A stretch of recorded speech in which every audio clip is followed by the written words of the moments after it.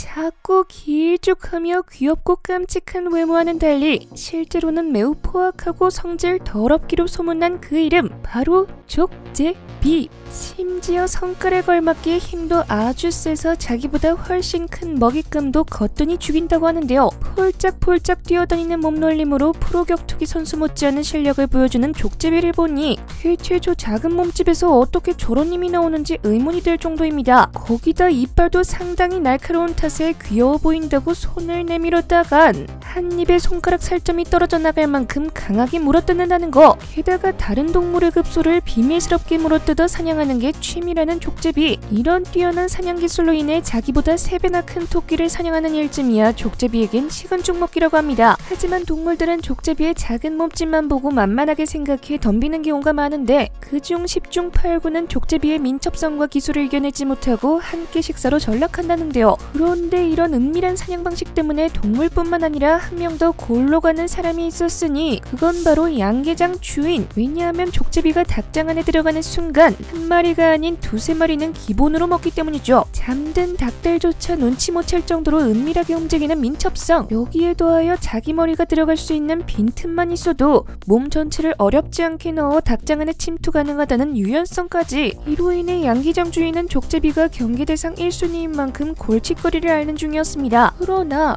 이런 양기장 주인의 고민에도 불구하고 족제비의 만행은 여기서 끝나지 않았죠. 배도 든든히 채웠겠다 얌전히 제 집으로 돌아갈 법도 하지만 본래 먹이를 저장하는 습성이 있다는 족제비 그렇기에 가던 길마저 안 가고 그놈의 저장 습성이 발동해 남은 닭들을 죽이기 시작. 하지만 작디 작은 구멍으로 침투했던 탓에 닭의 사체를 가져갈 수 없어 그렇게 족제비는 죽여놓은 닭을 내버려둔 채 철수하고 맙니다. 당연히 양계장 주인은 밤사이 족제비가 벌려놓은 대참사로 인해 아침부터 정신줄을 놓을 수밖에 없지 않을까요? 이제 양계장 주인은 족제비만 보면 울분이 차오를 것 같다는 느낌적인 느낌이. 이런 모습을 보니 족제비가 보기 보다 위험한 맹수로 왜 소문났는지 알 것 같기도 하네요. 그런데 이 족제비 녀석 양계장에 이어 일본에서도 요란 법석 떨었다는 사실이 최근 온라인 커뮤니티에 올라온 일본 생태계를 작살내버린 한국산 동물이라는 제목의 글이 누리꾼들의 관심을 끌었습니다. 해당 글은 일제강점기에 우리나라에서 일본으로 건너간 족제비의 근황을 소개하고 있었죠. 당시 일본은 족제비의 모피를 일본군 장교가 입는 겨울 군복의 방한용 기수로 사용하고 있었습니다. 그렇기에 모피를 자체적으로 생산하기 위해 우리나라 어디서나 볼 수 있을 정도로 흔했던 족제비들을 생포해 데려갔던 일본. 이렇게 바다를 건너간 족제비들은 규슈 지방에 있는 조선 족제비 사용 농장으로 향했습니다.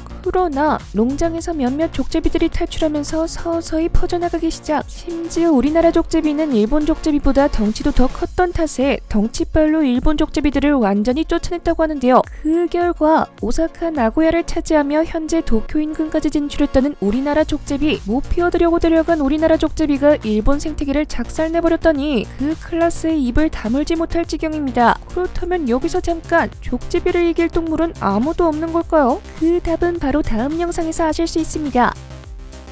영국의 한 사진작가가 촬영한 쇠족제비와 유럽 청딱따구리의 목숨을 건 싸운 모습. 유럽 청딱따구리가 쇠족제비를 먼저 공격한 줄 알았건만 이게 웬걸? 알고 보니 쇠족제비가 유럽 청딱따구리 등에 먼저 올라타 끝까지 물고 늘어진 중이었습니다. 자기보다 큰 몸집의 딱따구리를 공격한 쇠족제비의 배짱과 근성을 보니 작은 고추가 맵다는 속담이 떠오르는 건 저뿐만이 아닌 것 같습니다. 하지만 다행히 사람이 주변에 있는 것을 눈치챈 쇠족제비가 공격을 포기함으로써 딱따구리 딱따구리는 쇠족제비로부터 해방되었다는데요. 무려 딱따구리에게 덤볐던 족제비의 모습에 과연 족제비의 클래스는 어디까지일까 의문이 들지만 사실 족제비들의 사냥은 늘 이렇게 평화롭진 않은 법. 최근 영국의 다른 지역에서도 발견된 이 작은 쇠족제비 역시 자기보다 큰 새를 공격했지만 이번엔 제법 크기가 컸던 탓이었을까요? 외가리가 커다란 부리로 위협하자 쇠족제비는 그 부리를 물고 늘어졌지만 녀석의 운은 여기까지였던 것 같습니다. 왜냐하면 외가리가 쇠족제비 고기를 부리 속으로 꿀꺽 삼켜버렸기 때문이죠. 그렇게 외가리의 부리 속으로 사라지고만 쇠족제비 아무래도 쇠족제비의 용기가 무모했던 것 같네요. 물론 족제비가 뛰어난 사냥 실력을 갖춘 게 맞지만 아예 천적이 없는 건 아니라고 하는데요. 여우부터 시작해 맹금류, 표범이나 늑대, 외가리 또한 족제비 녀석의 천적이라고 합니다. 그뿐만 아니라 길고양이들에게 족제비는 흔한 먹잇감 중 하나라는데요. 그래서인지 족제비를 사냥해서 몰고 가는 길고양이를 여기서도 저기서도 발견할 수 있었습니다. 있습니다. 이 모습을 보면서 한 가지 깨달은 점은 다름 아닌 길고양이에게 함부로 다가가면 안 된다는 거. 지금까지 생생지식 정보였습니다. 감사합니다.